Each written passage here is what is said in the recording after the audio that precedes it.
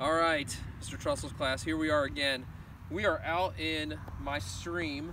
It's a, a, natural spring that starts up that direction and comes under the road and goes here. It separates one of our fields from where our house area is. Um, and right now, I'm gonna start by collecting a few rocks for the bottom of our terrarium. I want the real small rocks. So I'm looking at things like this, I need a layer of those as well as the big ones so you can kind of see these small ones. So I'm going to collect some of these and then we're going to start collecting some uh, wildlife. So here I am in the deeper part of the stream looking for something. I was really hoping to find some tadpoles, but it might still be too early in the season to find any. Now I did find something that's interesting, and if I can, I'll get it out here for you.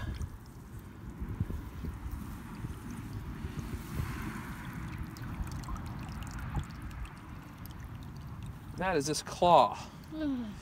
So that's basically telling me there's some pretty good size crayfish in here, crawdads, whatever you want to call them, um, that are around this little creek area because this is a big claw.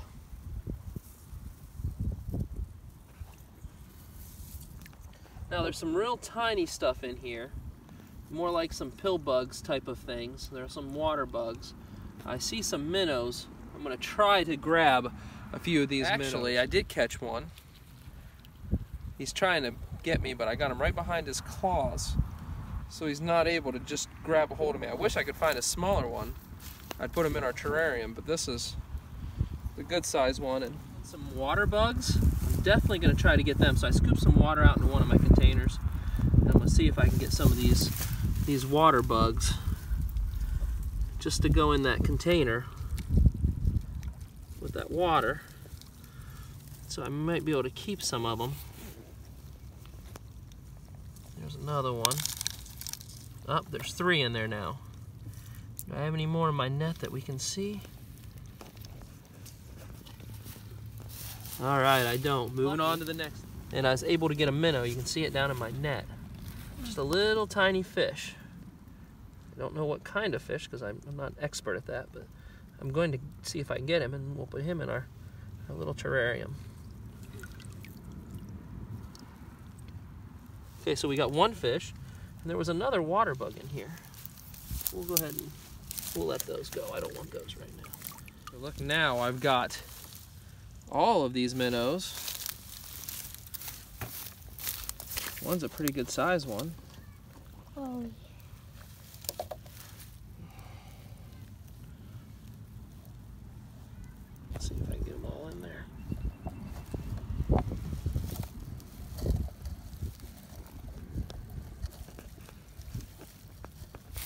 Now down in here, I just saw him. Hopefully I'll be able to get him back out again. There's a leech.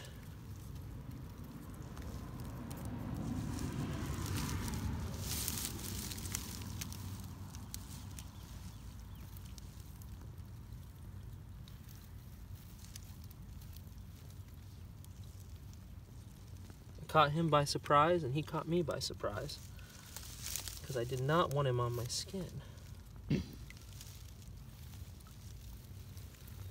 went down and buried Here himself. I see some some grass type of like well, I don't know, it's some kind of weed or water plant. I've seen it several times. It just kind of grows in here. It's got some different bugs in it. I already see, so this might be good for our terrarium. At least a chunk of it. So I'm gonna grab a chunk of this, put it in this container here, with a little water in there with it. It's used to having that water. That way see, there's another piece, yep. Put another piece in there. So, a little more water. So now we have some plants, we have some minnows, we have some bugs. So, if there's anything else we could find, I would love to find one of those little crawdads like I caught, but I think it's just, it's not that time of year for them. So I'm gonna keep looking for a few more things and then we'll see what we can catch. Right there is a big frog I don't even know if it'll jump in there. It doesn't look like it's super healthy. Is it? Well, it might not be super healthy because it's either playing dead or it is, no, it's alive.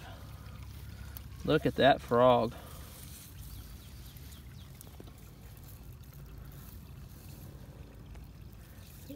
Well, it looked like it was, I think it's just playing dead with us. Let's get it back out of its net here.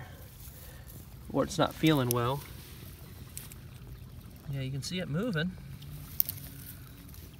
Maybe it's laying eggs and I interrupted it. Okay, see the this hole right here, they're all over the place this time of year in this yard. Right along all the way down this bank.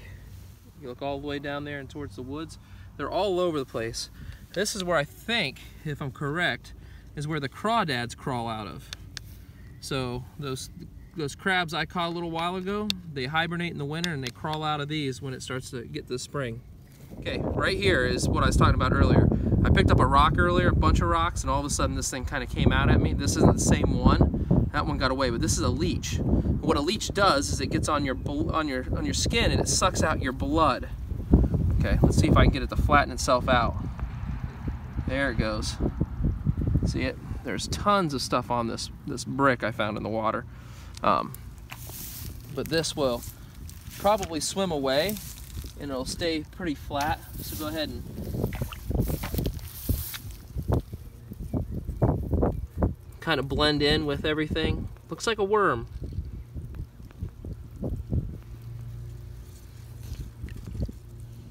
It'll probably bury itself in the hole. It was under this brick when I flipped this brick right. over. Uh, once again, class, this was me out exploring this little stream, this little habitat and ecosystem for many, many things. So remember, a habitat is something that is uh, relational to a species. So we talked about it, we, we found some crawdads, some uh, leech, we found some water bugs, um, some minnows, and some plants, and, and they all make up this ecosystem, but the habitat was for each of them and how they relate. So we'll talk more about that in, in a few, and here's exploring. All right, class, I'm back.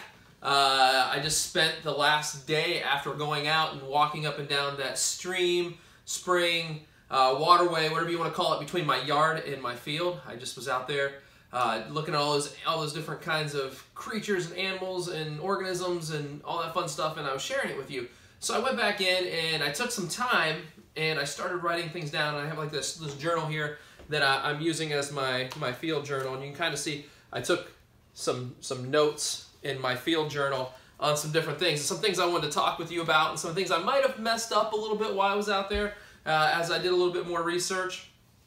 And so uh, the, the first thing I want to say is uh, that I looked up that plant and I could not find that plant and exactly what that plant was. So I don't want to give you a name for that plant unless I know what it is. The second thing was I talked about those crayfish holes and I looked them up and crayfish do not hibernate but what they do is they go below the frost line. And what the frost line is, is the amount of soil that will freeze when it gets cold outside. So different places in the world have different frost lines. Um, so Ohio's is, I think, right around two feet deep or so. Uh, and, and so you, you have this frost line. So they bury themselves below that frost line.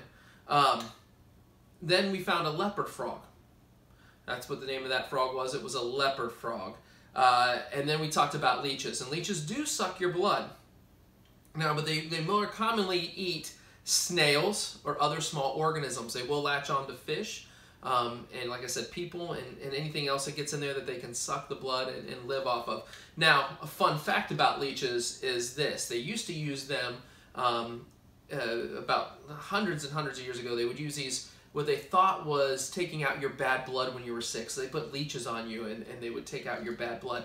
Now we use them today in medicine because the leeches have something that help the blood not to clot. And so some surgeries require that your blood doesn't clot, so they actually use leeches in some surgeries today. Um, the water bugs, they were an isopod, and they are more commonly known as a water pill bug. And if we look at them, it looks like a water pill bug. Um, the next one was the, the minnows. I told you I didn't know what the minnows were. I looked them up. Minnows are, are kind of hard uh, because there's so many of them. It is actually the largest family of fish in North America is the minnow. And one of the most common of them are carps, uh, or as a carp. And with that being said, is minnows are often small fish that just become larger fish that we would know, like you know bass and carp and bluegill. But they start off as as minnows, as small fish, and that's what they call them. So we covered about six different organisms. And so that is my question for you today. It's the very last thing I'm going to say to you after you watch this video is I want you to list those six organisms. I went over them a little bit here, but they're also all through the video. So anyways, I hope everybody's having a great day. Uh, I hope you found this interesting, knowing all these different things that are around you, and we will see you soon.